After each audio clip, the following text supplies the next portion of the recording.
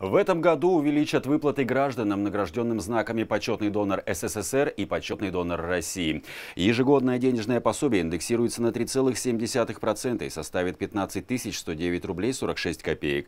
Для назначения выплаты необходимо предоставить паспорт, удостоверение о награждении нагрудным знаком «Почетный донор России» или «Почетный донор СССР» и банковские реквизиты. Документы принимаются в Люберецком окружном управлении социальной защиты населения по предварительной записи. В настоящее время такую меру социальной поддержки получают более тысячи жителей городских округов Люберцы и Котельники.